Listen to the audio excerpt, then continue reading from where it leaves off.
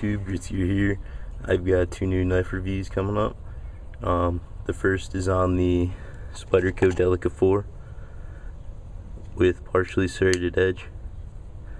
And the second is on the Benchmade 551 Griptilian with S30V. This is a custom job I ordered. Uh, one green handle, one tan. Sorry I've been gone for a while. I've just been finishing up school, trying to find a job. But I decided it's about time I make a new video, so here we go. I'll start off with the Spyderco Delica 4. I got this for $50 in Calif uh, in Florida. Um, it was on sale, but I think you can get it online for a similar price. Let me see if I can make it focus a little better. There we go. It's VG10 steel. Overall length of uh, 7.125 inches. Closed length of uh, right around 4.25 inches. Blade length 2.875 inches. And weight of 2.5 ounces. I've been using this knife for a few weeks now. Uh, I used it while I was in Florida. Um, and just it cuts beautifully. I'll do a paper cutting test on it after this part, but it holds up well. Uh, there's been no rust on it. I've had it for a few months, but I've just been really using it heavily in the past few weeks. Uh, it's a great knife though. No problems opening or closing. I've kept it oiled, but hasn't needed it. I think it would have been fine without it. It does stay in my pocket, so collect some dust. You might be able to see some on there, but nothing too bad really the edge has stayed. I haven't sharpened this knife. I haven't sharpened either of these knives since I bought them. Um, just been using it for light work, opening packages, stuff like that. It's been a great knife. I'm really happy with it. The second knife I'm really excited to show you. It's the Benchmade Griptilian that I ordered. I said that there would be a surprise later. This was it. Um, if I just change it to focus in a little better you can see I wrote True Grits on one side, which is the name of my uh, my sailboat, and Grits Gear on the other for this channel. Uh, I got the S30V steel, the uh, anodized coating so it doesn't rust at all. Not that I'm worried about S30V rusting, but just in case. Um, hasn't dulled out much at all.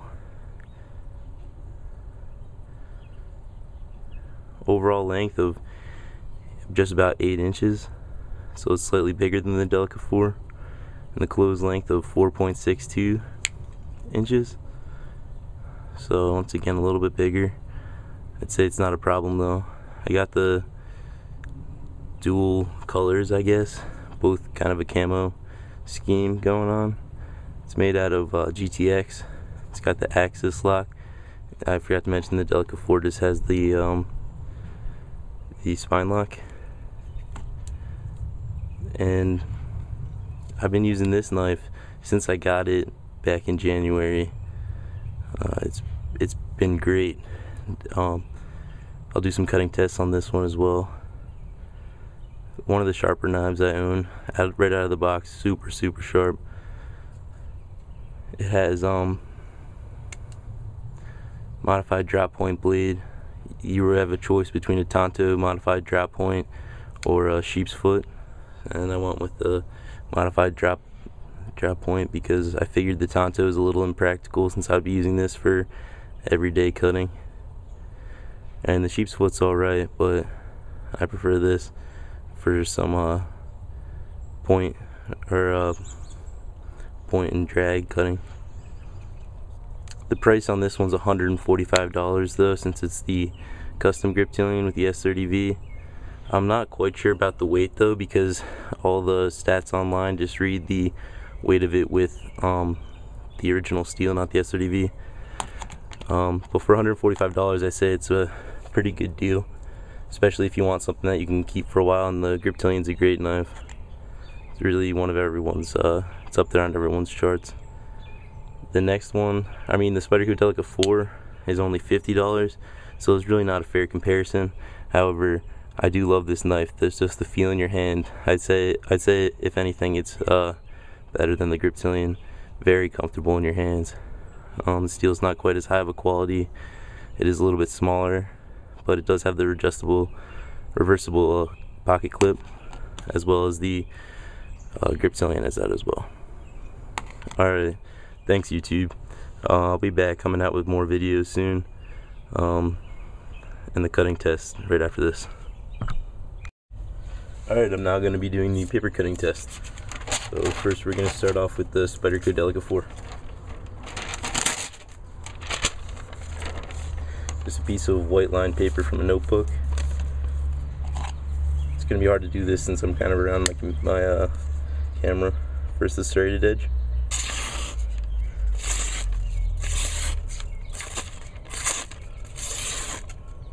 You can see the serrated edge is extremely sharp. Now for this plain blade.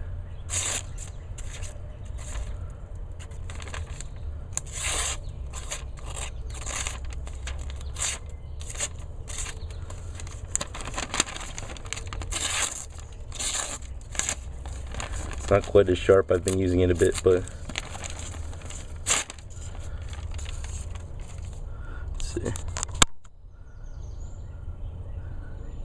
Looks like there might be might be a little bit dull. I haven't sharpened it since I got it and it's been cutting a lot of cardboard boxes. Uh, so the plain blade is not quite as sharp, but um, I can vouch for the fact that it was slightly sharper. Still not ridiculously sharp, but it's no no hard feat cutting a straight line with this even around curves um, it's pretty sharp next up I'll show you the Benchmade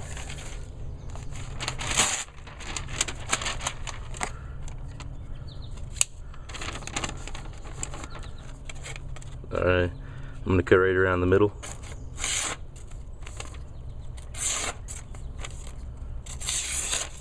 it's just no problem well, it's gonna make a liar out of me. It's just the sharpest blade. The S30V modified drop point, extremely sharp. I'll show you how it can uh, point and pull.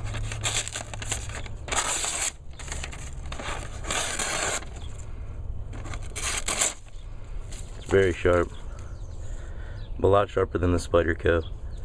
Um, I'll have to let you know how they hold up in the long term since I've only had them both for about a few months. But so far I'm very happy. If you had the money, I'd say spring for the Benchmade. The Spyderco is not far behind and it has a much lighter price tag. So keep that in mind too. Both of these are um, pretty classic knives for the Delica and the um, the Benchmade. Both of them you see in almost everyone who's an avid knife collector's collection. So check them out. I'm sure you have already seen them, but if not, take another look. Alright, take care YouTube.